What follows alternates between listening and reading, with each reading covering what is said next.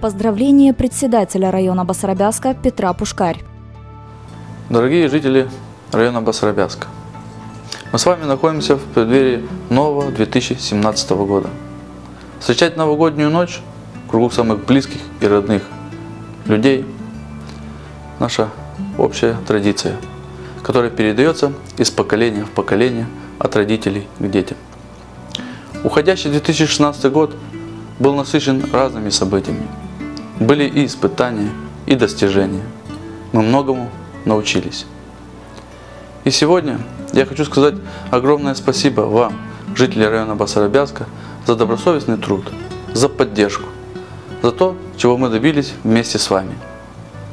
У нас в районе живут сильные духом, открытые и доброжелательные люди, которые любят свою землю. Убежден, вместе нам по силам преодолеть любые трудности и решать самые амбициозные задачи. Дорогие друзья, совсем скоро мы встретим самый теплый семейный праздник – подзвон бокалов и бой курантов.